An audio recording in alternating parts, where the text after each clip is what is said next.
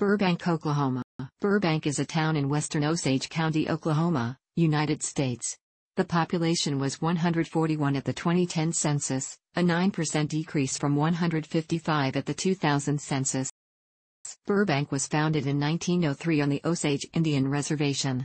The founder was Anthony Gabe Carlton, a mixed-blood Osage and a Chouteau family descendant, who owned the townsite and named it after the artist Elbridge Burbank, 1858-1949, who spent his life painting the Indians of over 125 tribes.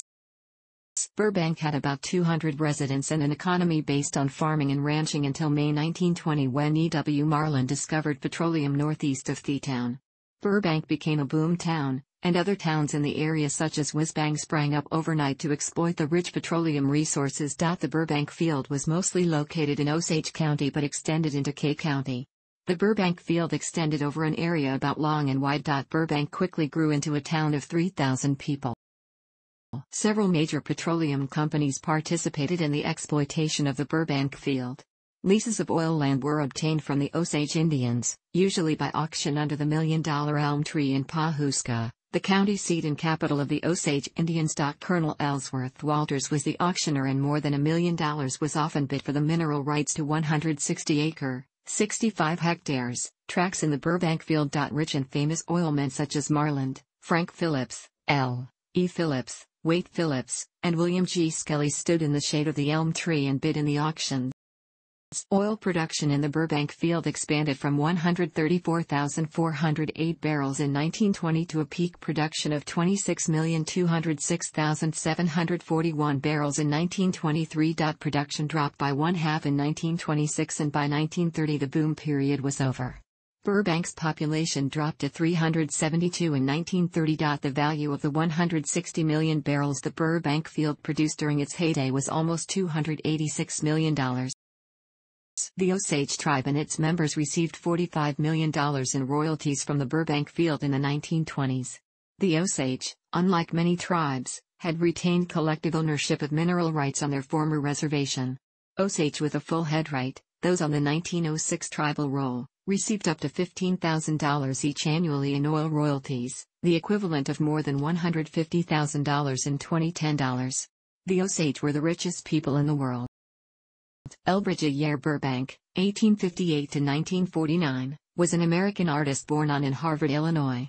A painter of portraits of Native Americans whose work is represented in the Field Museum, the Newberry Library in Chicago, and the Smithsonian Institution in Washington, D.C. In his first job for Northwest Magazine, after graduating from the Chicago Art Academy, Burbank traveled along the territory of the Northern Pacific Railway, across the Rockies to the Pacific coast, painting scenes which would sell the area to potential homesteaders. He then studied in Munich, Germany under Paul Nauen and Frederick Fehr in 1886, alongside Lee, Sharp, and Rosenthal. Returning to Chicago in 1892. In 1895, Edward Ayer of Chicago, first president of the Field Columbian Museum, and. A. Burbank's uncle commissioned a series of Western Indian portraits. Burbank finished the commission and for years continued through the tribes of the Southwest, the West and the Pacific coastland. In 1899 Burbank painted the first portrait of Geronimo at Fort Sill. He was the only artist to paint Geronimo from life. Burbank depicted the leaders of 125 tribes in more than 1,200 works including Chiefs Joseph, Sitting Bull, Rain in the Face, Curly, and Red Cloud. Given the Indian name Many Brushes, his autobiography was Burbank Among the Indians. E. A. Burbank died on April 21, 1949 in San Francisco, California after being struck by a cable car. Burbank's work is regarded as historically important. Burbank is located at 36.695983, minus 96.727978. It is west of Pawhuska and northeast of Oklahoma City. According to the United States Census Bureau, the town has a total area of all of it land. As of the census of 2000, there were 155 people, 63 households, and 40 families residing in the town. The population density was 458.8 people per square mile, 176.0 per square kilometer. There were 77 housing units at an average density of 227.9 per square mile, 87.4 per square kilometer. The racial makeup of the town was 70.32% white, 20.00% Native American, 0.65% from other races, and 9.03% from two or more races. Hispanic or Latino of any race were 1.29% of the population.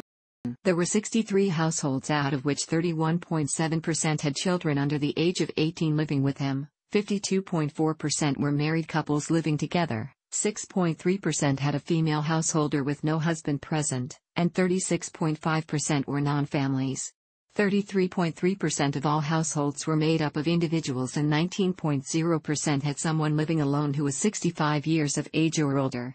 The average household size was 2.46 and the average family size was 3.20. In the town, the population was spread out with 33.5% under the age of 18, 3.9% from 18 to 24, 26.5% from 25 to 44, 21.9% from 45 to 64, and 14.2% who were 65 years of age or older. The median age was 36 years. For every 100 females, there were 82.4 males. For every 100 females age 18 and over, there were 87.3 males. The median income for a household in the town was $20,000, and the median income for a family was $30,750. Males had a median income of $25,000 versus $21,250 for females. The per capita income for the town was $13,686. About 17.1% of families and 24.1% of the population were below the poverty line, including 42.5% of those under the age of 18 and 8.0% of those 65 or over. Thanks for watching. Don't forget like the video and don't forget to subscribe.